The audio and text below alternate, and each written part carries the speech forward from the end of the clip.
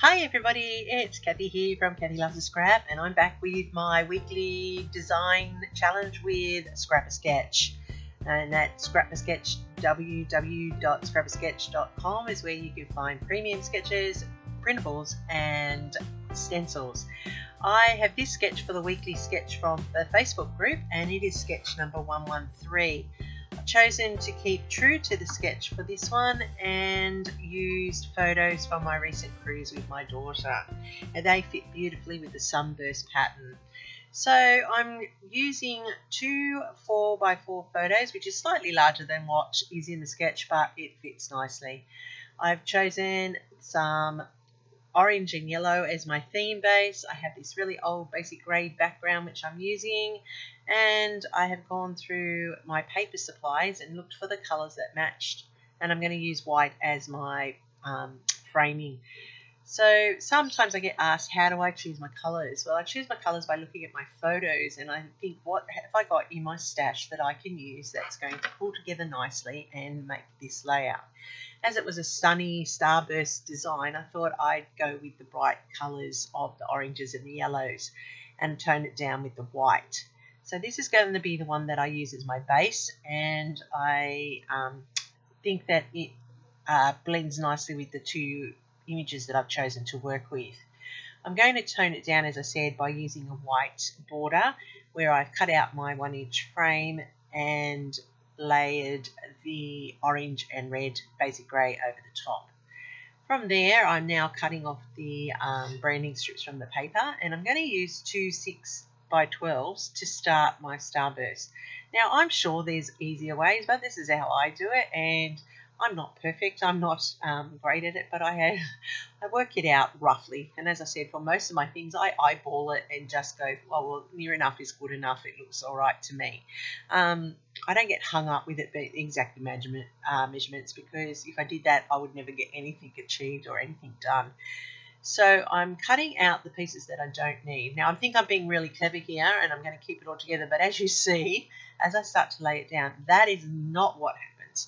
I uh, actually um, end up breaking it into three separate pieces so that I can line it up. And even then I still don't line it up properly, but it works for this layout.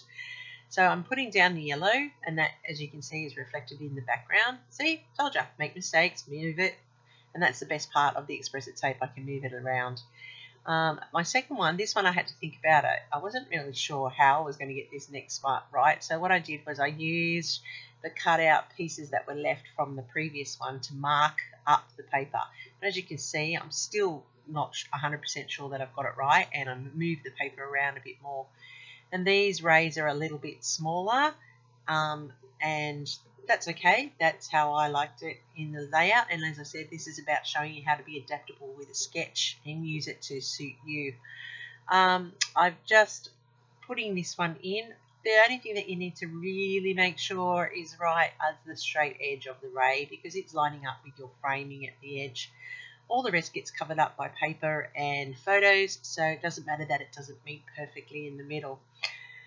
I am mounting my photos on white cardstock and I actually thought I could do it with just the one cardstock piece out of the center of the background but no I cannot because the photos are a little bit larger so I go and get another piece of white cardstock to finish the mounting but I use it throughout the layout anyway.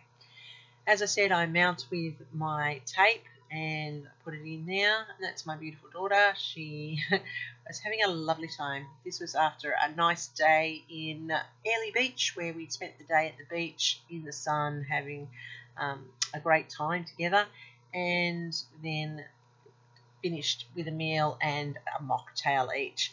This here is an, a favourite punch that I like to use. Um, it's the dotted scallop and it's very versatile for lots of layouts. So I'm going to cut it out actually. I cut out three. One I do off screen so you don't see that. And that's because I come back to it. And I'm using it to, like I said, break down that bright yellow and bright orange and tone it down just a little. So I've decided that I'm going to put this scallop border along the edge of the yellow rays here and that tones it down. I just lay down the uh, double-sided tape to hold it in place and like I said, I do everything by eye. I just don't measure it exactly. I just layer it and place it down. And that just shows you that it can be, um, you don't have to have all the precision tools to do everything. You can just use common sense really and layer it up. Remember in scrapping it's about what works for you Alright, so I'm using the back of that orange flower one because it's got the yellowy tone and that's going to be perfect for my journaling as per the script sketch. So off screen I went and journaled it just to say what we'd done on that day and what we were doing. And now I'm layering it up with my pieces of scrap. Once again, I go through my scrap and I find the pieces that I've got lying around that match the colour scheme I'm looking for, so nothing is wasted. I've put this three panel across here and I'm layering up my photos and I'm actually going to overlay the top of that photo where there's the dead space so that it fits in on the panel.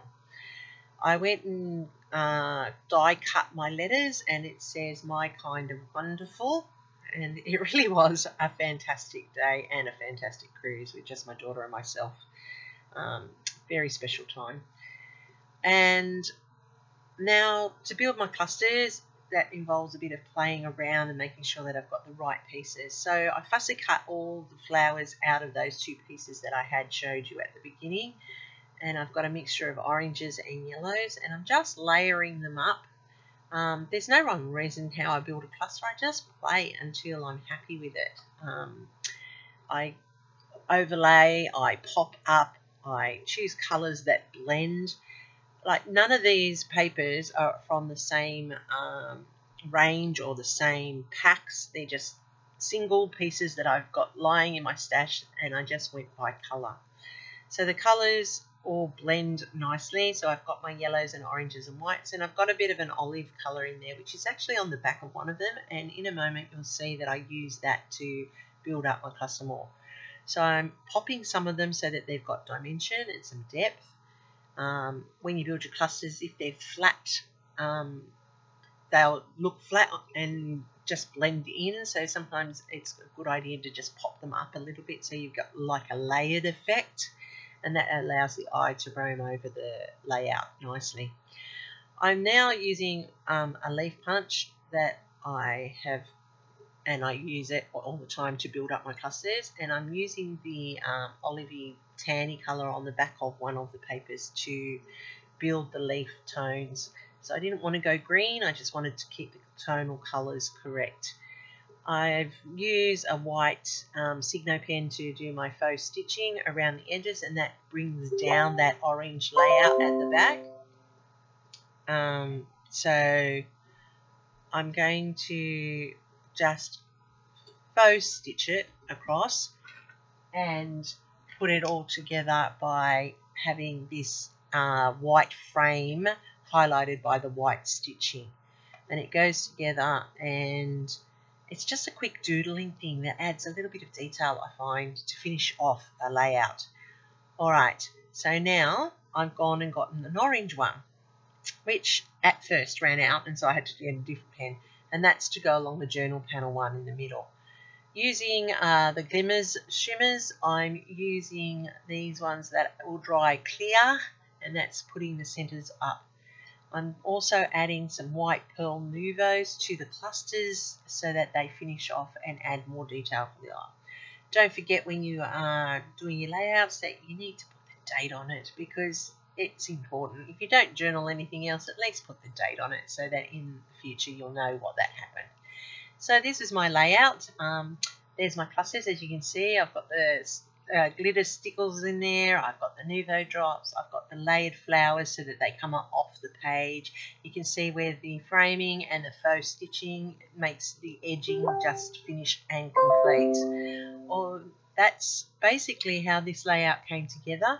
Um, it is for Scrap a Sketch, which is um, my creative team that I work with. Uh, this is the sketch that I started with by Lisa, and this is my um, layout that I created. And as I said, I stuck pretty close to the sketch and pay homage to sketches when I can. We're at Scrap a Sketch on um, Facebook and Instagram but also at www.scrapsketch.com where you can get exclusive sketches, stencils, and printables. If you follow me and use Kathy Loves to Scrap 10 at checkout, you'll get 10% off your printables and stencils. As I said, there is a Facebook group and on Instagram, but don't forget I'm on Instagram. Follow me there, and you'll see all of my layouts and the ones that are um, of my older stash. I'm Kathy from Kathy Loves to Scrap, just an Aussie mum scrapping and sharing with you. Hope you found something you liked. If you did, give me a like and don't forget to subscribe if you don't already. Catch you soon.